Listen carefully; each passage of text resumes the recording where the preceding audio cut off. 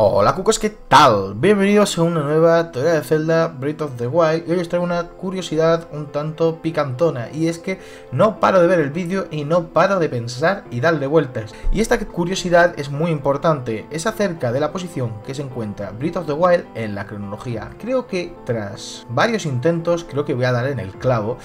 Y bueno la verdad es que no sé, ya lo dije hace ya en otro vídeo pero hoy tengo pruebas y lo voy a confirmar Así que estáis preparados, let's go. Bueno, cucos, voy a intentar hacer esta posición lo más entendible posible para que no nos rayemos y no nos confundamos. Bueno, comencemos.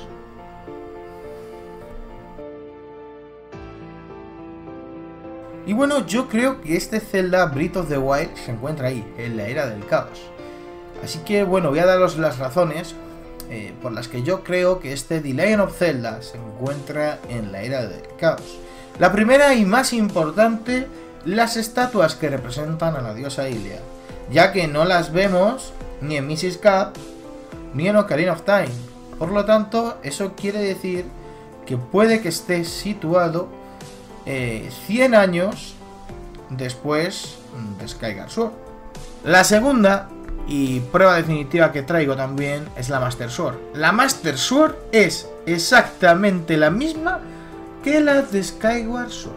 Por no decir que el héroe es diestro, como el de Skyward Sword. Pero la vaina y la espada es la misma. Es la misma. En Skyward Sword, Link y Zelda tenían una conexión increíble, abrumadora. Link se mataba por salvarla. Cualquier peligro él lo afrontaba y tiene una conexión realmente especial.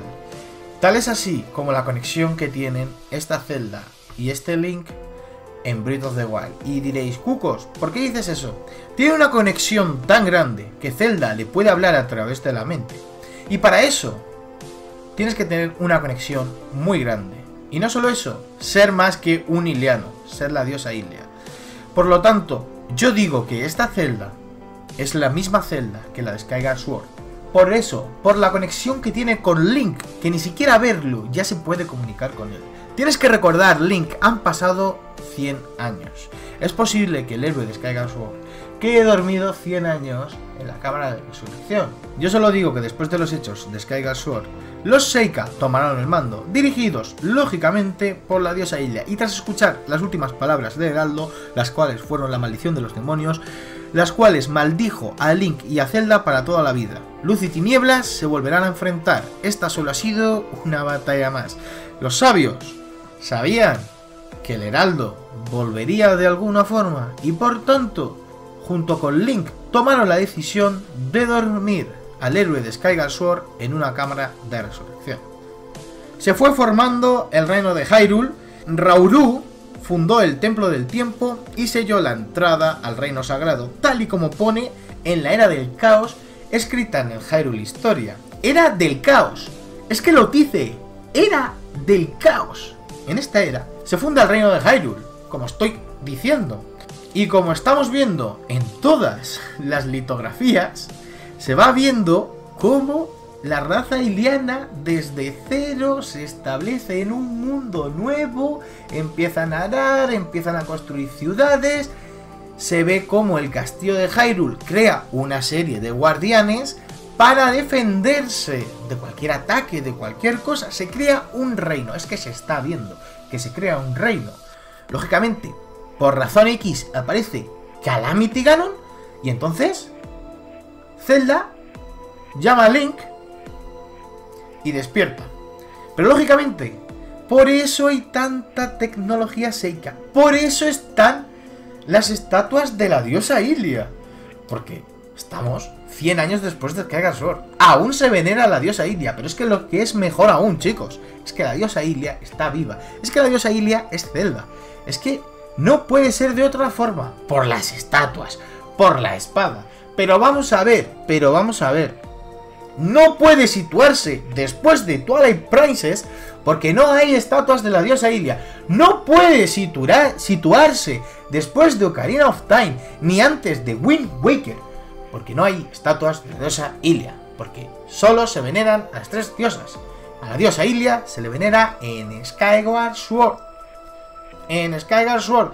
Y esto es 100 años. Básicamente porque la espada es la misma, porque el héroe es diestro y porque Hyrule está derrumbada por la era del caos. Por la era del caos. Es que no puede ser de otra forma. Así se encajan todas las piezas. Esta nueva raza voladora que no se ha visto en ninguna otra celda. Que no se ha visto. Es que es así. Es que se ve un mundo. Un mundo abierto. Un mundo que está en creación aún. Que básicamente Calamity Ganon ha conquistado el castillo y ha destruido la puerta al reino sagrado, el templo del tiempo, y ha cogido la trifuerza. Es que es así. Es que es así. Y esto es solo una teoría más, según he visto el vídeo. Ya sabéis que yo no apoyo mis teorías ni las defiendo a muerte, simplemente la digo, la expongo, pero no me mojo, porque lógicamente no soy adivino ni sé lo que va a pasar, pero después de lo que he visto, es posible que sea esto. Así que yo os lo quería hacer saber. Pues nada más, cucos. Espero que hayáis disfrutado del vídeo. Si es así, no olvides compartirlo. Dale like, suscríbete si quieres ver más teorías. Y nada más, nos vemos en el siguiente vídeo. Adiós.